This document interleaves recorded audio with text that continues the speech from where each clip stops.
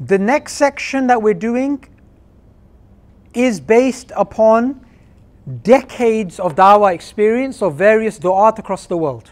But I'm going to give you that not over decades, I'm going to give it to you over an hour and then the next couple of sections.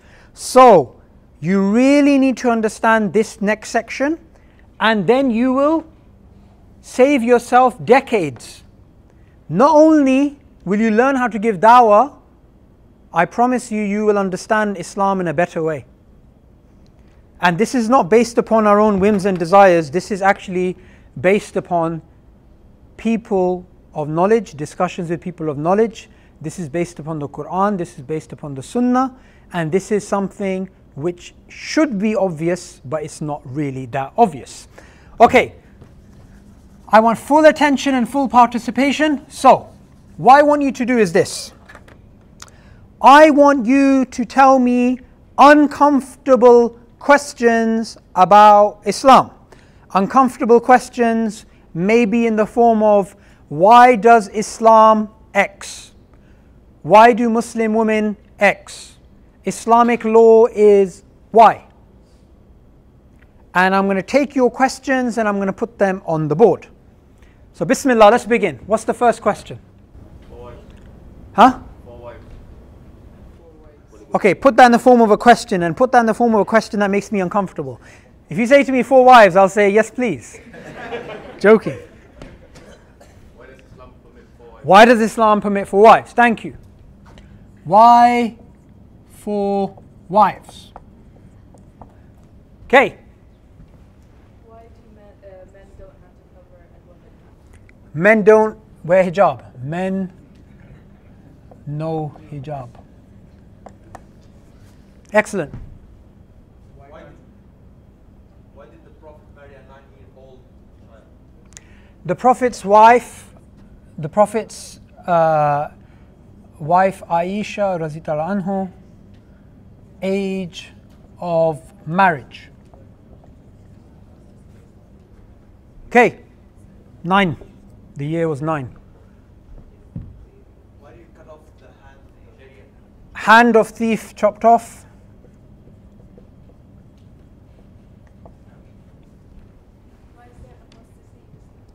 Apostasy? In Islam. Apo- I'm, I'm, I'm assuming apostasy punishment. Yes? Right, what else? Excellent. Women marry more than one.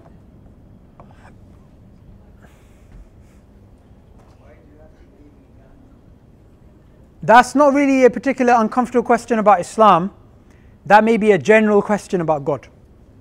Any other questions? Why do women have to be accompanied by? Yes. Why women need male guardian?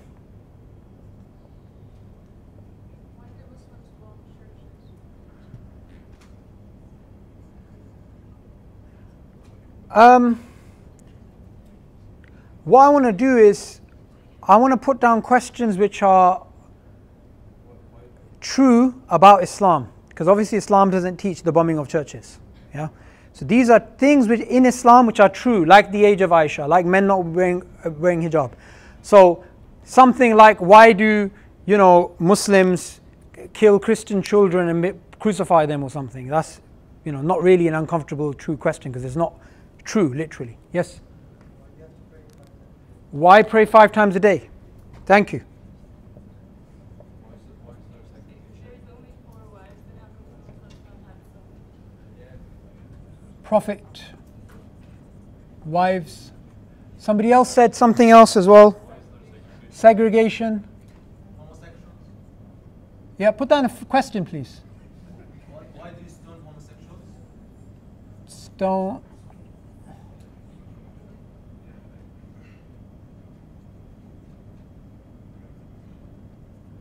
Right. Yes. Con- Islam and concubines. Yep. Why does Islam allow uh, killing? Okay, we think it's a bit distorted, but like verses in the Quran that permit to kill if somebody, for example, commits murder. Okay, good. So he corrected the question in the sense that things which are true about Islam. We have capital punishment, right? Why is there capital punishment in Islam? Why? Everyone understand what capital punishment is? When a person by the state is killed because of a killing that he actually did. What else? Yeah, we did that.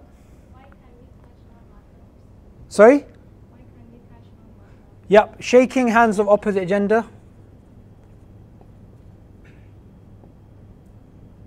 Or touching opposite gender. Right, wealth. Why not drink alcohol or eat piggy?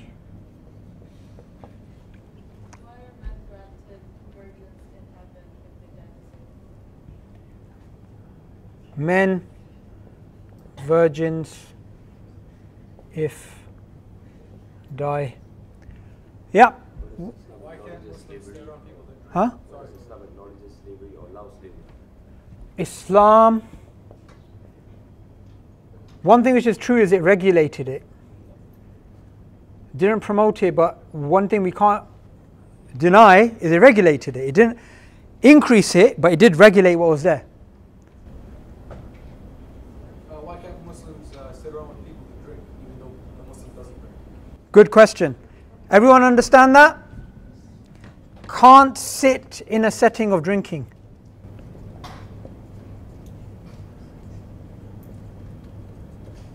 Thank you for bringing that up because it's not exactly you drinking. You're not allowed to, and we have rules like this in Islam. So sometimes you're not permitted to do something which is imitating even a sin. Does everyone understand that? Yeah? It's not just about doing the sin, sometimes even being in the environment of someone sinning or imitating someone that's sinning. Okay, so for example, if there is a particular sect of Hindus who wear the color pink on uh, the first Saturday of the month, that's their trait. There's a particular sect of Hindus, I'm hypothetically saying, who, who, who wear the color pink on the first Saturday of every month. If Muslims start to just, oh, my friends are doing it, so I do it, we're not allowed to do that. We're not allowed to imitate even the disbelievers, even though we may not believe what they believe. We're not even allowed to imitate them in a particular thing. So I'm not talking about like trousers and shirts because that's like universal thing, but a particular thing which is a, a, a, a uh, of a particular religion which imitates them, we can't do that. Uh, why can't I listen to music even though sometimes it calms my nerves? Yep. Good, very good question. Why can't I listen to music? This is a good question because it's related to alcohol. Alcohol has some benefits, it's not only harmful. Music also has some benefits, it's not only harmful. Okay? So, why can't I listen to music? What else? Why is it permitted? Why Sorry, I didn't get enough sisters. Yes, any sisters?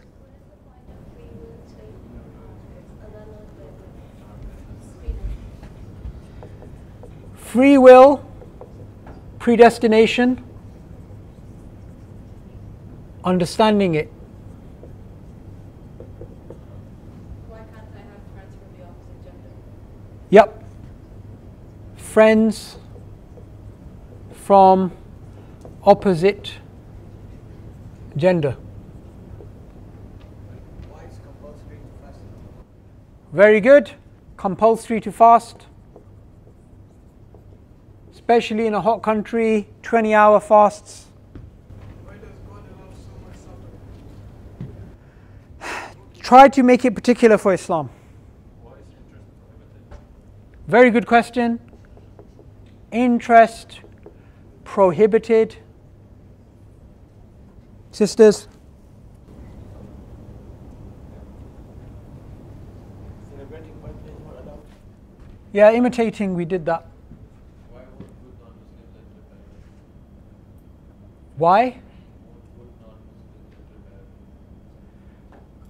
Okay, you could put that in a sense why does hell exist? I'm trying to make it broader.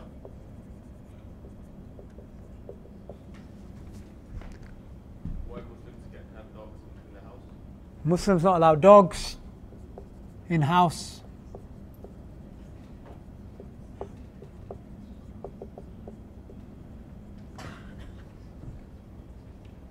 Why Islam prohibits ce- celebrating birthday? Yeah, we did imitation. Why not giving salam to someone doing so? Sorry? Giving salam to someone who's doing so. Giving salam to someone that's. So. you're allowed to or you're not allowed to? To give salam to someone that's sinning? Oh, I've never heard that before. Uh, is, is that. You mean a non Muslim? Oh, I didn't know that. Well, I- I've never heard that, so I'm not sure if I can put that down. Uh, But we're not allowed to give salam to a. Actually, there's ikhtilaf about that. We're not allowed to choose a, a non-Muslim friend over a Muslim as a as a personal guardian. Yeah, that's that's something that's there.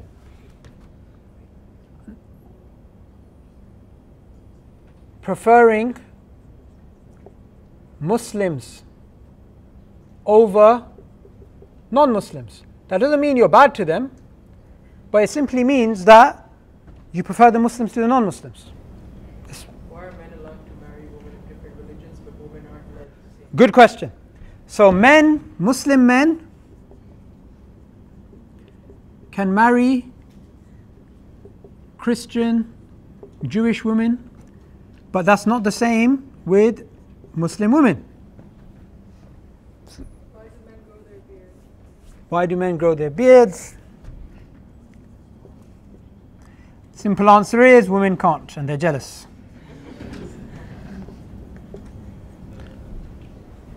Are women uh, prevented from Juma? Okay, that's not really true. So put down things which are actually true. Because there's lots of misconceptions which are not true. Huh? Yep. There's ikhtilaf about two pieces and one piece, but we can say at least thobe above ankle.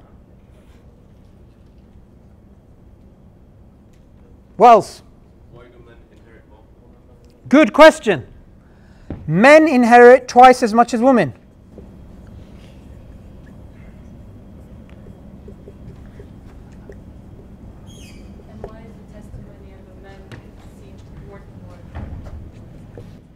Testimony of man of is worth more. Can you complete this? Is worth more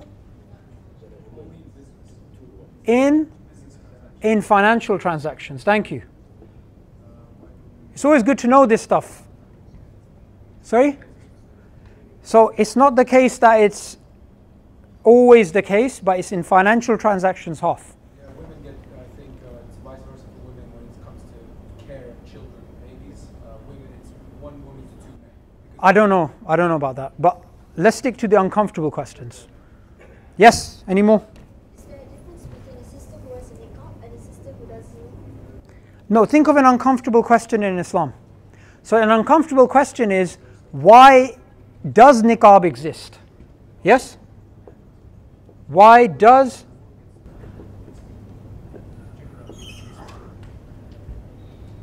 niqab exist? Right. Why does a female need a guardian when getting married? Maybe. Yeah, we have that guardian. What else? Um, women lead even when they have unmarried relationship? Women be the Imam or Khalifa. They're not allowed to be the Imam of a Jama'ah of men, and nor are they allowed to be the Khalifa. Uh, why were women not sent as prophets or messengers? Very good. No women prophets. Why there was offensive jihad? Offensive jihad? Very good question. I like the way that you put that. Because that is there in the early, from the earliest times of Islam. Yes? Uh, why can Muslims marry their cousins? No, that's allowed. No, I mean, in this day and age, people tend to find it sort of uh, taboo. So, why does Islam permit?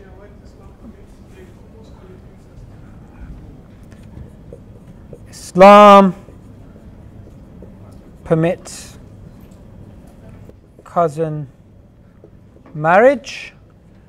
Right, let's have one last one and one really, really difficult one. And when I'm when other people are speaking for courtesy reasons, please don't speak because you're actually being rude to the person who's actually speaking. So just try and have one conversation. Let's have one last one. One last difficult question. Think of something really difficult. Don't make it too easy. Because this exercise is about throwing up, it's about getting it off your chest, it's about putting it all out there. Yes? How can you disprove evolution even though there's fossil evidence? Yeah, it's not a really question about Islam.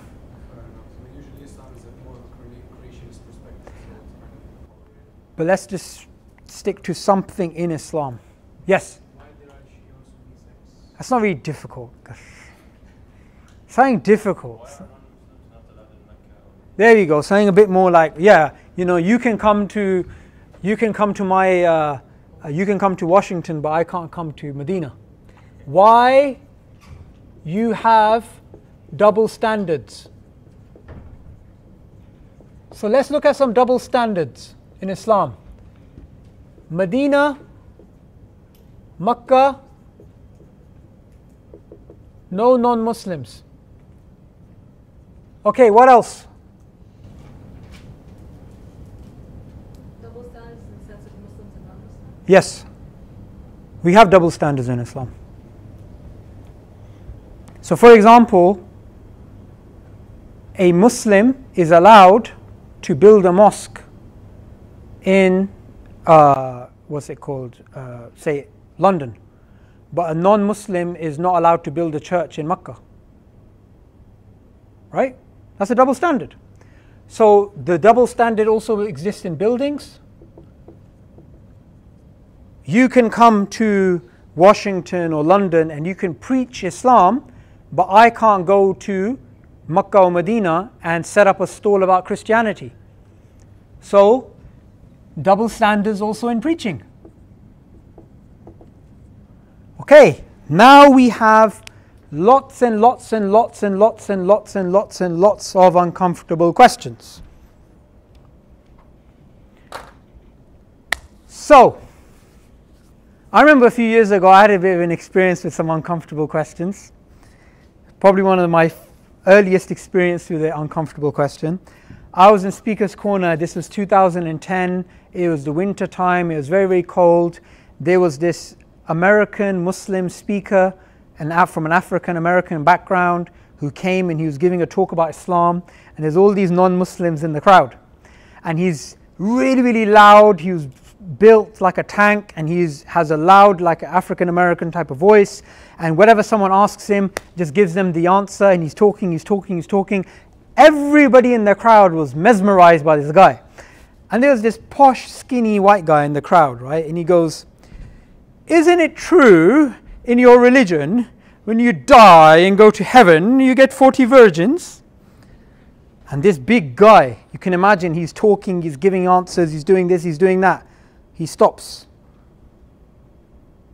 Inshallah. That's what he actually says. And I was in there thinking, what the heck? That like no one understands what that means. Yeah, there's this me and this other Muslim guy in the crowd. The rest were non-Muslims. Anyway, that's how you don't. That's how you don't give an answer to an uncomfortable question. There's a clue. So we have all these uncomfortable questions. What I want to do now is I want you to give me the answers. Okay. My friend.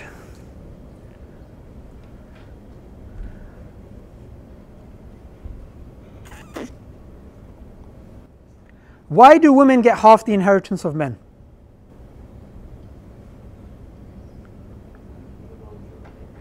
Sorry?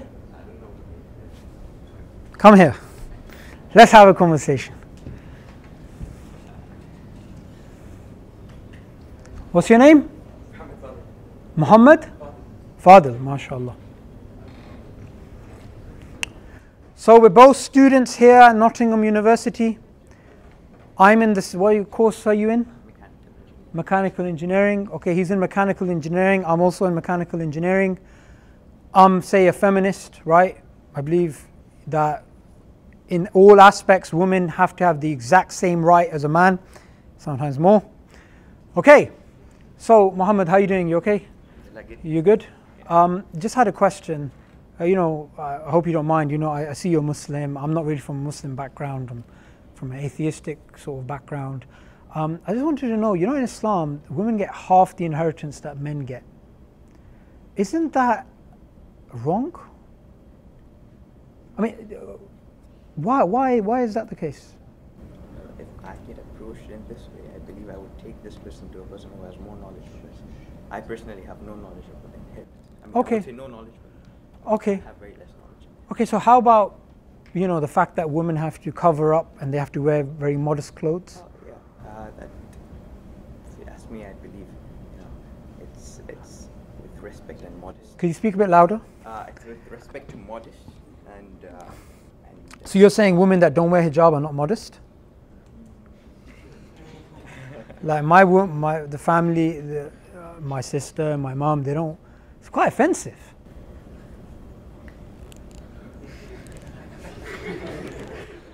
No, but I mean, you, you believe Islam is true, right? Yeah. So, women like the men don't have to wear the hijab. men do have hijab. Really? Yeah. You're not wearing one. Uh, but, but the hijab is not the face for men, I believe. So the hijab for the men is different to hijab of the women. Yes. Why? Because men and women are not the same. Okay. It doesn't make any sense though. I don't really get that. Like, as a man, you can marry four wives, right? As a Muslim man. Yeah. Yeah. Can a woman marry four husbands? No. That's a bit unfair, isn't it? There's a lot of issues behind. Like, How shall I put this? Uh, sorry, no one's allowed to help him out. I can see some people want to put their hands up. This, this is the lamb to the slaughter. it's Bakra Eid, and we have a nice Bakra with us. pretty healthy one. Yes. Uh, okay. Um, say, So- say, say, for example, the woman actually has a child. Okay. Where's the child? I mean, she gives birth to a child. Uh, how would she know who's the father? Well, she's married to the father, so. Not one. I said four. Now. Okay, okay, that's a good question. I like the way you did that. So what he basically said is, there's a woman, she has four husbands, right, and she has intercourse with all four on different days. She doesn't know who the father is.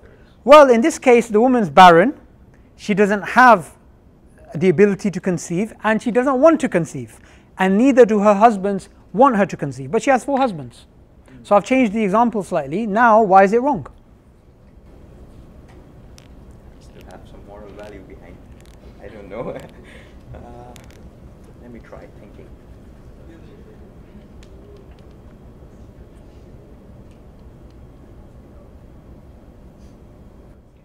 Okay, thank you very much. Thank you very much.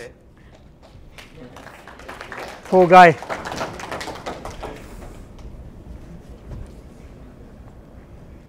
Okay, yes, my brother. What were you going to say? No, the brother back there. By the way, this is for someone who hasn't done the course before. If you've done the course before, you have to sit down.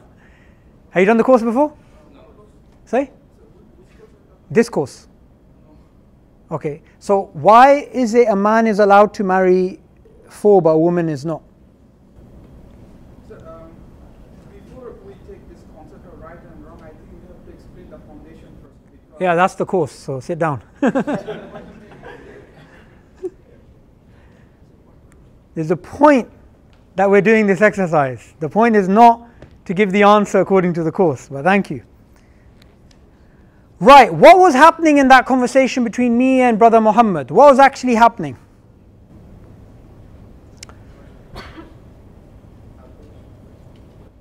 The answers that he was actually giving, were they satisfying me? Okay. Were the answers leading to other questions or were they resolving questions? Okay. Now, the fundamental problem in the conversation was not to do with the questions. Because if Brother Muhammad is there and I give him one after another question, if he happens to somehow know the answer to one of them, I'll ask him another one, I'll ask him another one, I'll ask him another one. But the problem here is this if you try and use your logic and your reasoning to try and give him an answer, then he can try and change the question and ask you in a different way. So, for example, one of the ways that the question is answered about a man marrying four rather than uh, you know women being able to marry for is historically there's always more women than men. But someone can change the example and say, what about India, where they have 1 million female abortions a year, therefore there's more men than women? What about India? So now your example's changed. Fundamentally, this is what I want you to understand. In this conversation, there are two people who are not actually talking on the same level. There is a Muslim who is looking at the world through lenses, green lenses, and he's looking at the world as green. And there is a non Muslim who is looking at the world through red lenses. So, what's happening in the conversation is the Muslim is saying, This is green, this is green, this is green. The non Muslim is saying, This is red, this is red, this is red. Why is that? The reason is this is the case is because the Muslim is looking at the world through the lenses of La ilaha illallah Muhammad Rasulullah. He believes that this man called Muhammad sallallahu alaihi wasallam is the final messenger of God. Therefore, whatever he says is true. When the non-Muslim doesn't believe that, he maybe believes in God, maybe doesn't believe in God, maybe he's a Christian, a Jew, a Lady Gaga, whatever. There are two people talking from a completely different perspective. For example, there was a atheist girl which I met at Speaker's Corner. I was speaking to her. She says, I don't agree with capital punishment. I don't believe a life for a life. Now I can give her an explanation why that's good, why a life for a life is important, whatever. She's, according to her logic, she said, even if somebody kills a million people, you're not allowed to take his life. Yeah? She's looking at the world through red glasses, I am looking at the world through green glasses. Now, what I want to do is this. These are aspects of Islam that we all believe in and accept. What if I come along and I tell you something? I tell you hypothetically, before you do takfir on me, hypothetically, there is a sahih narration of the Prophet ﷺ that you have to wear a yellow hat on Sundays. Hypothetically. Raise your hand if you're going to wear a yellow hat on Sundays. Why? Because the Prophet said so. Whether you understand it or not, you do understand he's a messenger. Likewise, if I take a pen and I change every single one of these things, and these things are actually true. So it's not the case that there's women, no women prophets, it's only women prophets and no male prophets. Hell doesn't exist. Dogs are allowed to be in the house. You're allowed to prefer Muslims and non Muslims together. Muslims, Muslim men can marry Christians and Jews, Muslim women can marry Christian men and Jews. Women, men don't have to grow beards. The thobe doesn't have to be above the ankle. The men and women both, in fact, the man gets one share of the inheritance and the woman gets five. No offensive jihad. Women can marry more than one.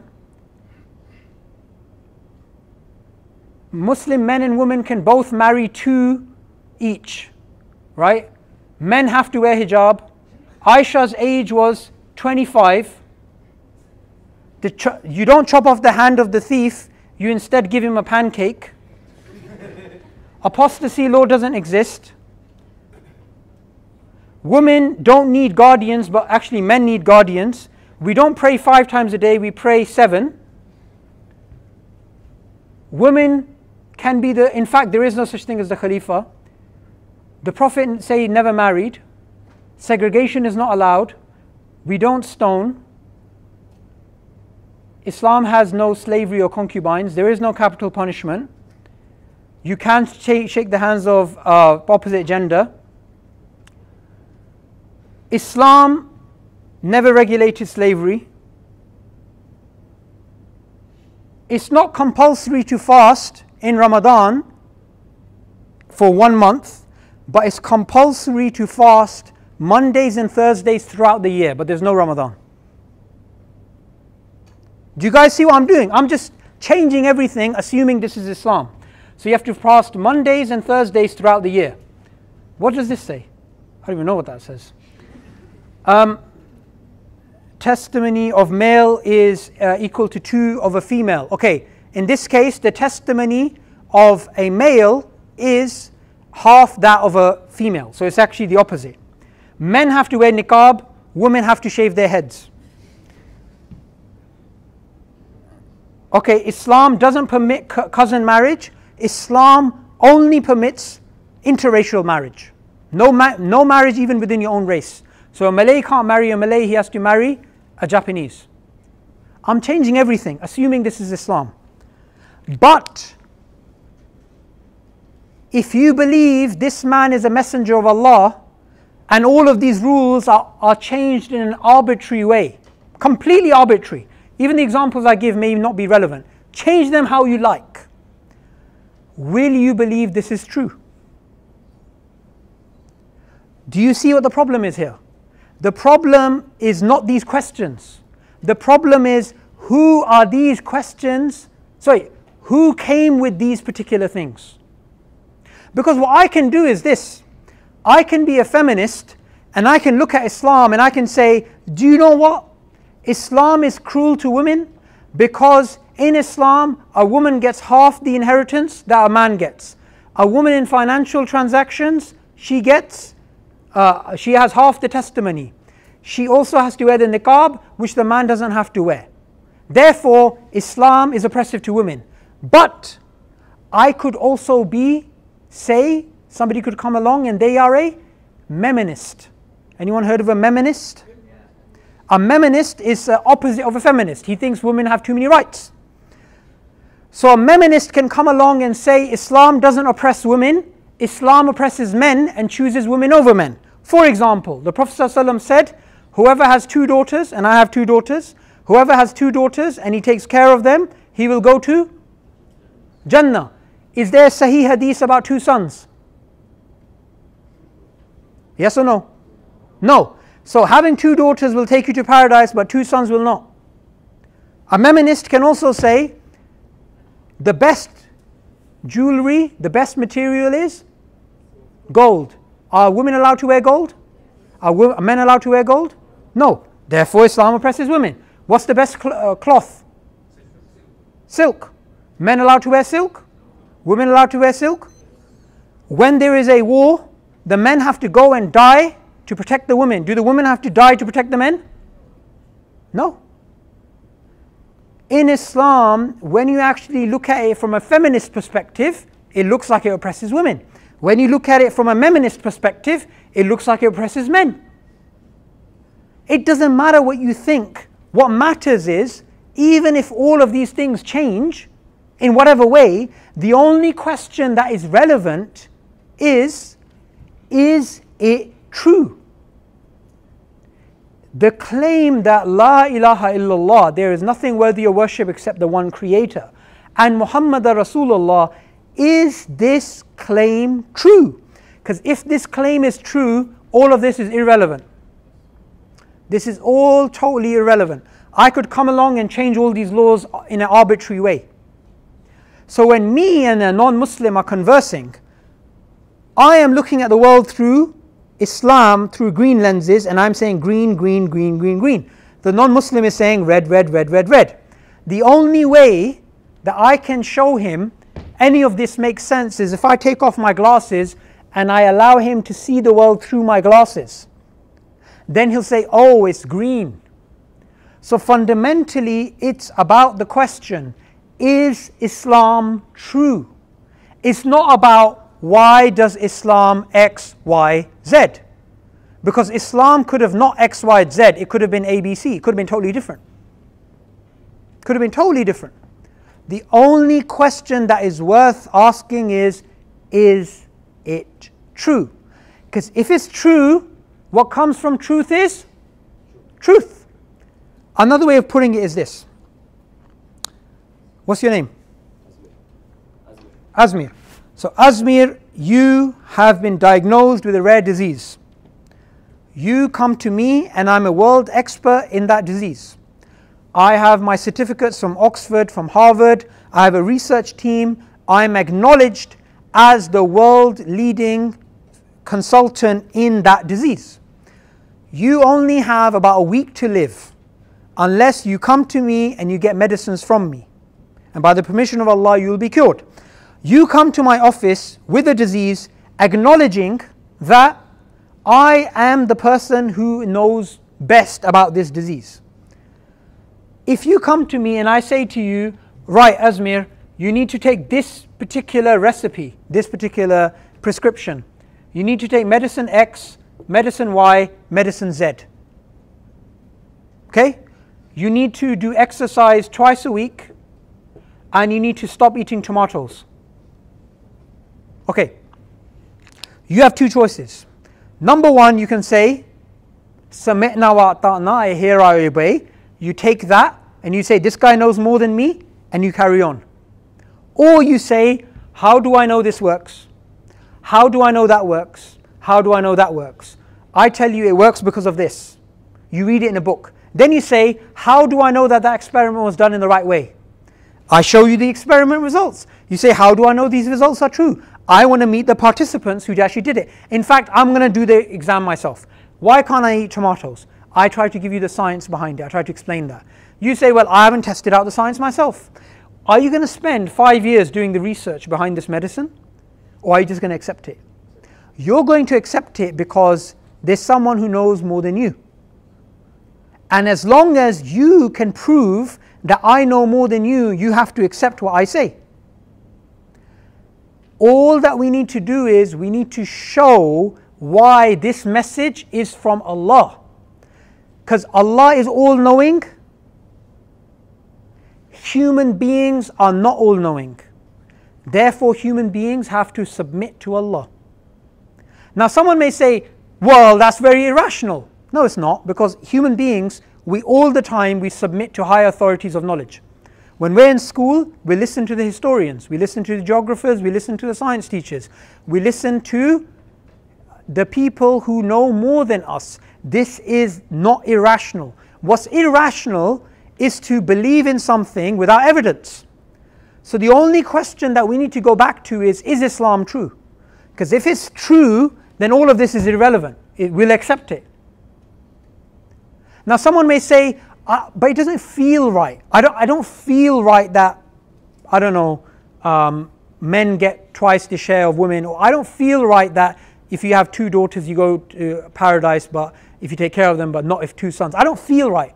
Well, the thing about feelings is that feelings are different all across the whole world. Your feelings don't change reality. Feelings are just whatever's inside. You may feel this way, another human being may feel that way. The truth is the truth and it's not affected by your feelings, whims, desires. All of these things can be answered in one particular way. Is Islam true? Because if it's true, khalas. And we know this through a beautiful story of when the pagan Arabs they came to Abu Bakr anhu. They came to him and they said to him, Did you hear what your companion said last night? Who's the companion? Muhammad. And what, what were they referring to? The night journey. That he claimed he went to Jerusalem and to heaven back in one night. And they were laughing so much about this because they thought finally we can show Islam is false. So they came to Abu Bakr anhu. What did he say? What did he say? He said, Did he say it? If he said it, I believe it. Why? Because he had evidence, he had belief, and he had reasons to believe that belief that this man was telling the truth. So whatever he says is true. The only question that we need to go back to when it comes to all of these questions is Is Islam true? Because if we try to use our reason and our logic to answer these questions, we're going to go around in circles. Why is it we have to pray five times a day and not seven? You can never give a rational answer. The only answer you can do is I can show you why Islam is true. This is why we pray five times a day. With all of these things, we need to fundamentally go back to why Islam is true. Okay, I've said the main part of the Dawah training course. We don't teach people to answer these questions answering these questions is irrelevant. What's relevant is who has come with the truth. Has Muhammad come with the truth? If he has, khalas, finish, done. We follow. If he hasn't, we don't follow. Simple as that. Okay. Does everyone understand that, or is there some concerns, questions, comments on that? How do you sort of convince them that Islam is true, even after agreeing that all these questions are sort of irrelevant? You just have to focus on Islam is true. So, how do you actually get that? Okay, good. The question the brother's asking is even if someone if someone accepts okay fine if Islam is true then all of this is irrelevant right? How do you start that conversation? How do you prove how do you even take it from these questions to Islam? And then how do you show Islam is true? That's after lunch. That's the rest of the course. My particular thing which I'm saying here is about the concept that these questions cannot be answered directly. You have to go back to the source, right? They are actually dawah training courses which take you down a rabbit hole, which is two weeks of how to answer the question about women, two weeks about how to answer the question about jihad. We're not teaching that stuff because that is actually the wrong way of doing things. If two people come from two different worldviews, one person is a secular humanist, one person is a Muslim, they're of course going to have different moral compasses. They're of course going to have different sentiments and feelings about particular issues. The question is not about that, the question is, is it true? Any other questions before lunch? Because this is the part where if you get this part, all the rest is going to be smooth. If you don't agree with the part, don't be shy not to raise your hand. Just say, look, I don't, I don't agree at all. And we've had that in the past. We've had some people saying, look, I don't, this doesn't make any sense to me. Okay? Anything from sister side? Yes. Uh, the one who's asking the question to still too persistent on getting the answers, yes. then what are we supposed to do?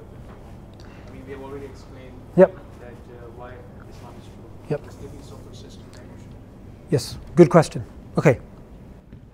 The question he's asking, what if someone says, no, no, no, I want to know why it is in Islam that you have offensive jihad? I don't care whether it's true or not, I want to know why.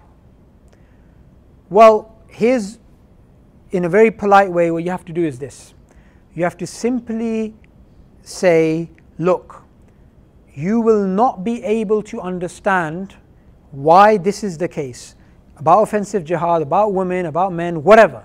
You will not be able to understand it unless you understand a simple formula, which is this God is all knowing, human beings are not, therefore, human beings submit to God. Is this from God? That's the only question. Because there are things in the world which we cannot comprehend. Even in science, we cannot comprehend it. For example, in quantum mechanics, in the subfield of physics, we have particles that exist in two places at the same time. The concept of time as we know it now is very different in those scenarios. There's a whole bunch of things which are counterintuitive, non commonsensical, irrational, but it's there. The reality is, you may never understand the wisdom behind something. You may understand it in hereafter. But all you need to do is, is it true? That's all you need to go back to. Is it true? Because if it's true, we accept it. If it's not true, we don't accept it. Here in Malaysia, say 10,000 years ago, there was some ancient population that lived here, right? Some ancient population which had spears, which had swords, which was some ancient population who didn't have much technology. Maybe they had boats. Say there is an ancient Malay person who we met, say the brother went and he met this Malay person 10,000 years ago, you had a time machine, you went back. And you told this Malay person in the future, there's going to be these big things that are going to fly in the sky, these planes. And while you're on the plane, you can access this thing called Wi Fi. And using this Wi Fi, you can talk to your mother on Skype when she's in Australia, even though you're flying over Europe. And not only can you talk and see each other, you are connected via satellites. Do you think this Malay person 10,000 years ago would believe you? They'd say it's magic, they'd say it's irrational, they would say it's impossible, they would say it's incomprehensible because their knowledge is limited. So they think something is impossible, or they think something is irrational, or they think something is non commonsensical. Yet, are those things true? Yes or no? They are true. We know them to be true because we have no more knowledge. So we have a little bit more knowledge than the people who existed 10,000 years ago. How much knowledge do we have compared to Allah? So if we submit to a higher authority because they have more knowledge, and that is a rational thing to do, why wouldn't we do that with Allah? Islam has a simple, simple, simple formula. And here's how we can try and boil down to that. Is Islam a religion of rationality or blind following? Raise your hand if you think Islam is about blind following. One, two, three. Okay. Uh, doesn't Allah say, Sami'na wa ta'na, hear and obey? That sounds like blind following.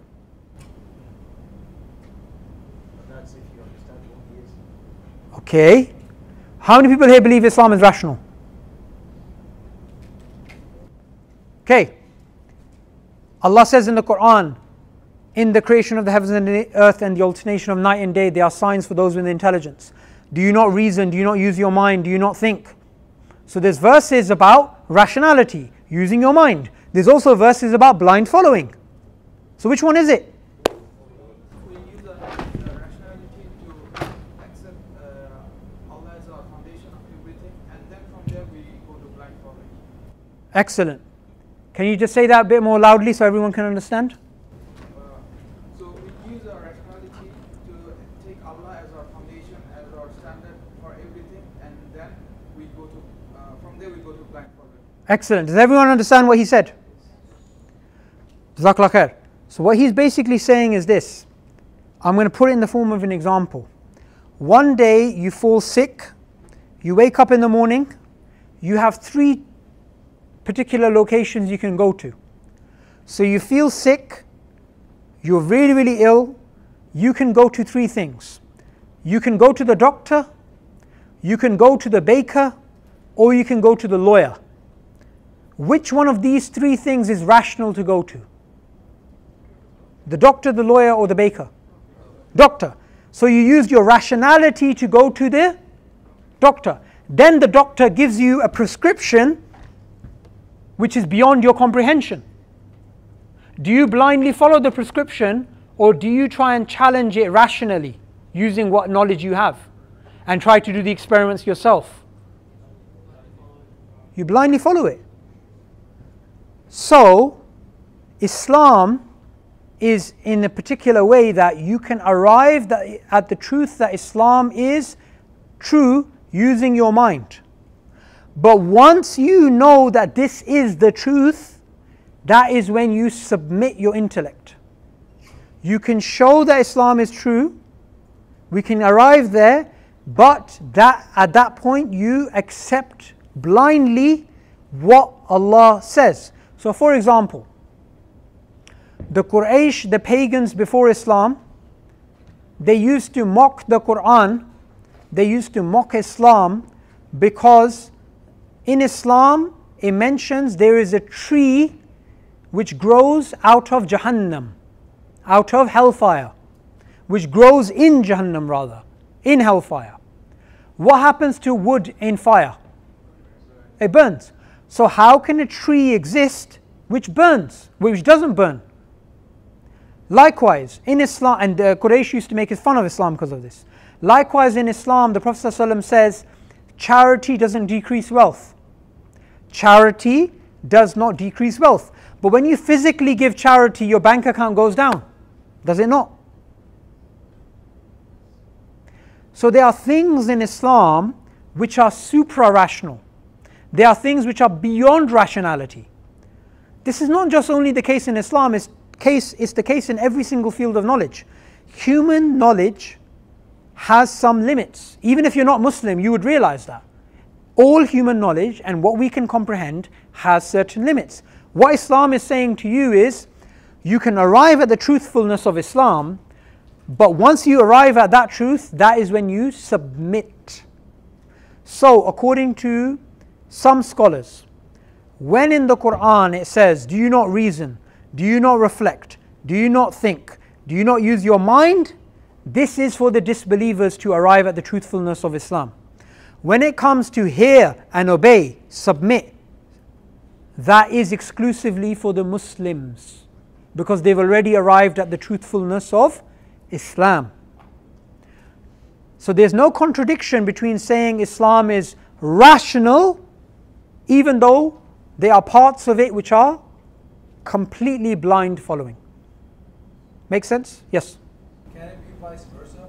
Would following will lead to rationality. That is the case in a lot of these. I speak from my country, where uh, people just are born with Islam, do not understand it, but with experience and slowly the rationality comes as, as time goes on. let me explain that in a slightly different way. I wouldn't put it exactly in the way that you put it, but I know what you're trying to get across.